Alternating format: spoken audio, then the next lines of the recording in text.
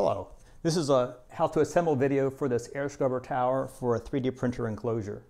The idea is that this air scrubber is freestanding, sits in the corner of an enclosure. It has three HEPA filters at the top. There are four separate chambers for activated charcoal, each separated by a nylon membrane. This is the speed control for the fan. There's the fan here. Below that is the nozzle that exhausts air from the system as well as recirculates air back into the enclosure. Here is a backflow preventer valve flapper, and then this is the exhaust path for the air. So let's get started. So the first thing we're going to do is we're going to assemble the uh, supports that hold the whole thing up. And to do that, we're going to use this piece of filament here through these holes that are in the hinge here. So you've got to stack these together like this, then carefully take the uh, the hinge pin, the piece of filament, and twist it in there. Feed it all the way through to uh, the upper section. And this is a piece of PETG. It's nice and flexible. It's less brittle. And um, there you have it. And the last thing you do is you want to snip off the end so that bingo. The next step is to attach the fan to the base structure to the adapter for the upper chambers. And to make this happen, we need to find the front corner of this guy. So first we'll do is loosely attach all of the individual chambers together. Not too tight. Just get them so that you kind of feel some resistance, then stop turning.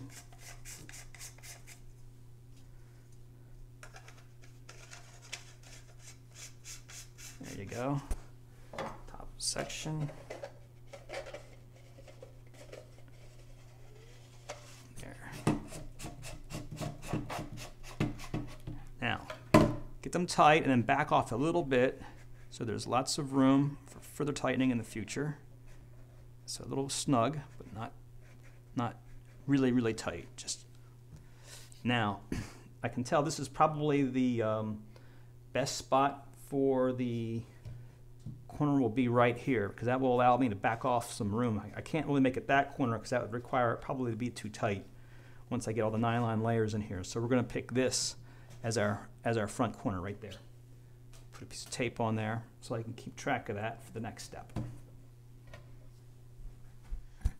Now we'll attach the adapter to the fan.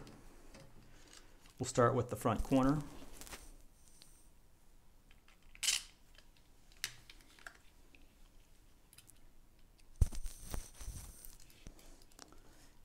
Nut finger tight there. Press it in this position. Feed the Allen wrench through the fan hole. There you go. Now we'll attach the base. There's that front again, right there. Base goes right like that. You should be able to readily find the holes. We'll do one corner at a time. M3 screw there, hold it in a position, and then get a nut finger tight.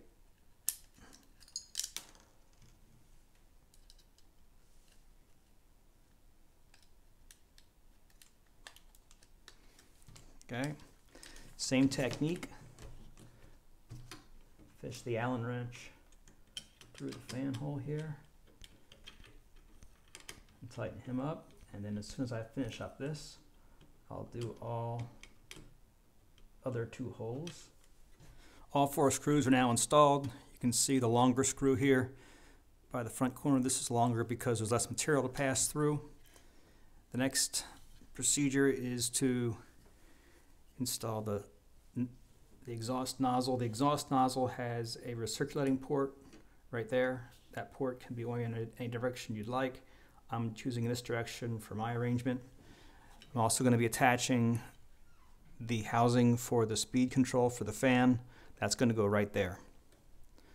We're going to start by putting the screw in the back corner of the nozzle. I'm putting in the screws backwards uh, in, the heads go into the nut well here because it's just easier to access the screws and the nuts by choosing that direction. So I'm going to drop the screw into that hole there. Very carefully put a nut in place. A little tricky back there.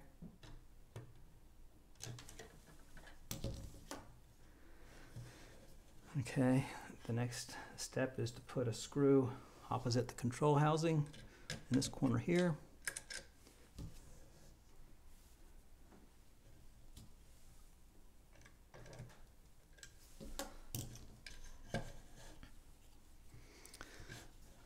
Housing goes over here on this side, so two more screws are going to go in there.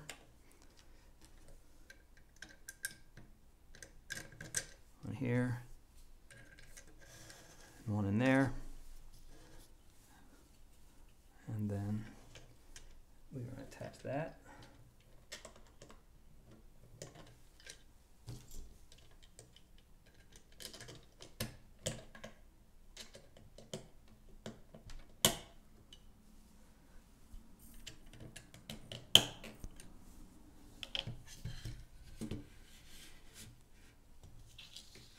So I'll put two nuts on there and then we'll move on to the uh, electronics. Okay, so you've got the nuts on there, completely attached. You can see where that housing goes.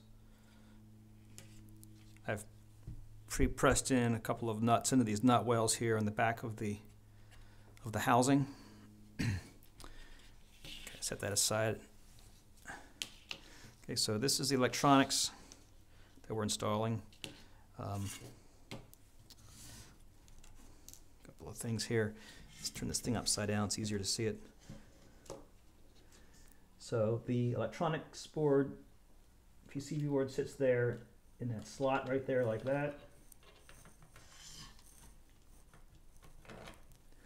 Okay, and then um, the outer housing for the controls are right here. That's going to be arranged so that the, um, the control knob is out here on this side facing the front. And then you can see this is the knob. The knob will through that hole right there like that. That hole. And then the outside of that hole will attach this washer and this nut. And then of course the knob. So I've already adapted the fan here. You can see I've got the plus and minus supply side of the fan connected to this, this red connector. I stripped away all the other uh, wires that aren't needed for this installation. And then I've pre-wired the PCB with the, um, this is the, uh, this is the connector for the fan here. It's marked plus and minus on the back, so you want to make sure you keep your plus and minus straight forward here, straight on the fan. And then, of course, here's the supply side where it says power, plus and minus. And that's wired up. So this is the cable that will feed into the, uh, the power source, 12 volt power source. So I'm going to go ahead and install this and show you how I've done that after I've finished it. Okay, so I've connected my cables. You can see what I've done here is the PCB is sitting in that slot there. The fan wire is connected through here. The I've routed the power supply line down along the base here and then I've used there's little holes in this leg of the base for tie wraps. I've put tie wraps in as you can see there and uh, I'll cut those off in a second. And, and then on the front of the control panel, there's the the controls going through that hole. I've tightened the washer and nut there, and we're now ready to attach the enclosure bottom to the control top. There's a little hole there, notch you're going to catch capture, and there's a little cut out here in this side of the uh, enclosure to allow for the wiring to pass through. So I'm going to attempt to get all the the holes lined up here. There, I think we're, we're there. So now the cabling is passing through that hole there, if you can see that. And then holding this in place right now before I attach the screws. Looks like everything's connected. The notch is filled in there at the top. Now what I'll do is I'll take a three screw, push it into there, and attach.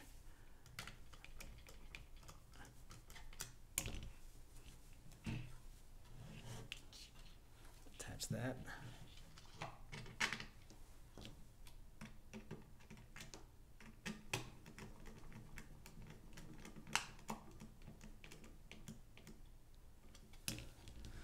Set.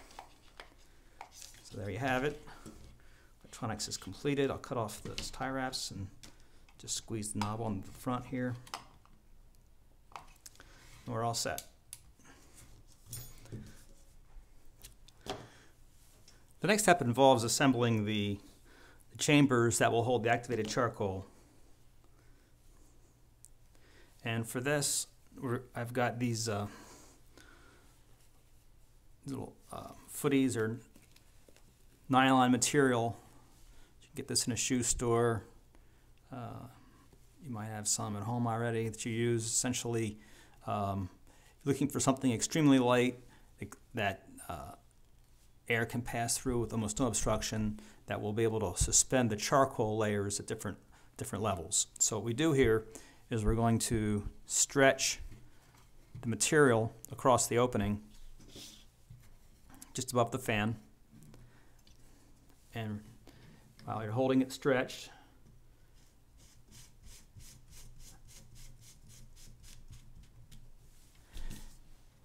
screw on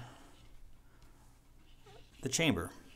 Now you've got a surface there that can take the activated charcoal. So at this point we're going to take the charcoal. Here it is. We're going to scoop up, scoop some out of here.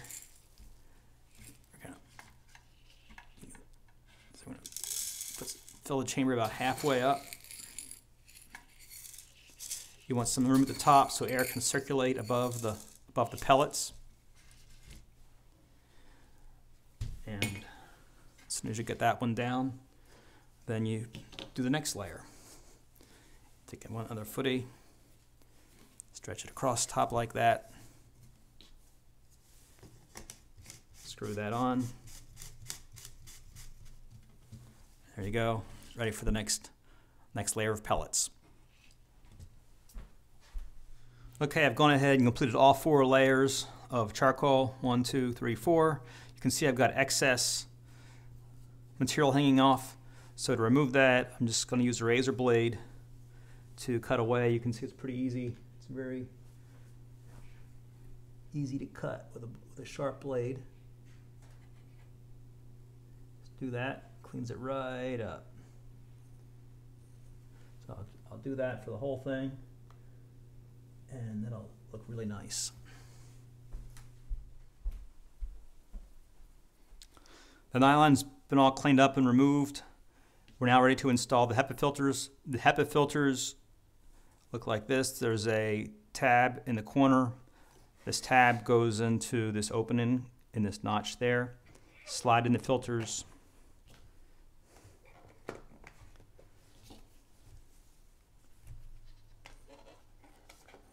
Now before putting the lid on the unit, this is when you could put in some silica beads to help act as an additional drying agent.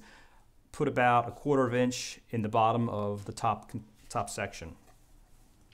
The lid goes on with these three pegs here these three holes here. Put the back in first, then the fronts, you're all set to go to the next step, which is to put on the exhaust tube and the backflow preventer valve. This is the exhaust tube and this is the flapper for the backflow preventer valve. The exhaust tube has two openings here, two notches, which line up with two tabs on the bottom of the exhaust nozzle. You can slide the tube onto the nozzle like so, and then you can spin it any way you'd like. The flapper must be calibrated before it can be installed. The flapper is comprised of this piece of PLA here, the, these two straight sewing pins, a rotation indicator, and then this is a piece of M3 threaded bolt that I cut off. It's about six millimeters long. This serves as the counterbalance for the flapper. So I used uh, this, these pliers here to cut, cut, the, cut the piece of the bolt off. And when you do this, you're going to have to very carefully calibrate to make sure that you've got the right amount of counterbalance on your flapper. So give it one or two twists to insert the counterbalance weight. Then insert your uh, straight pins carefully, just put the tips into the hinges of the flapper.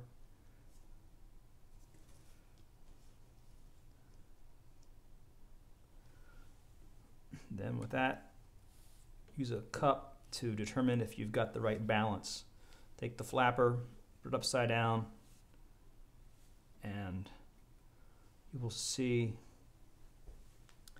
it balances upside down like that with the balance at the right level and when it's done well you'll be able to see about a 10 degree down tilt in the flapper. If it's level or if it's leaning like that that means there's not enough weight for the counterbalance you'll need to cut a new piece of screw to uh, get the weight increased. After you've got the balance figured out, remove the uh, remove the th threaded counterbalance weight and use some super glue to glue in the weight. What we'll do now is we'll take off the, uh, the tube and insert the flapper into the tube. Um, the flapper goes in like this with the weight down.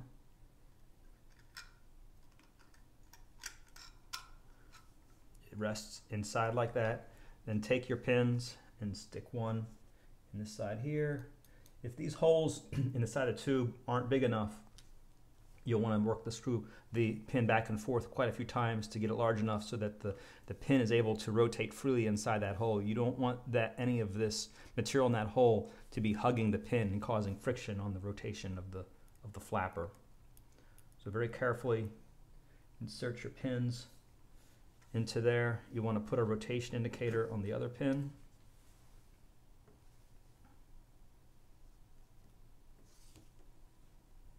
Slide it on there. If you'd like, uh, you can shorten these pins or you can leave them along the way I've left them here.